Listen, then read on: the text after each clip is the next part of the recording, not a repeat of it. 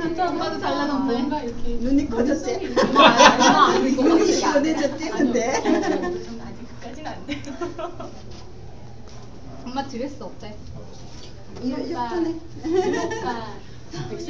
네. 예쁘죠? 시민님 뭐 앞에 뭐 숄더 같은 거 하신다고 했다는데 해드려요? 앉아있을 때? 예, 근데 전 안 했어요.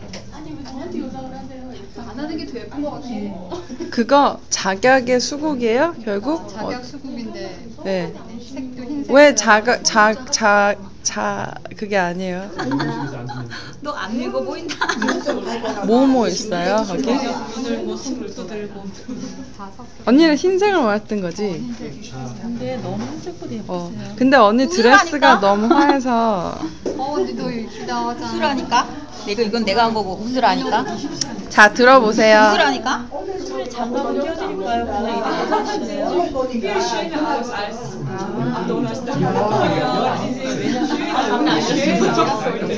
학술대 있어요? 원하시는 아, 선생님 따로 싶어요. 아이고 예뻐.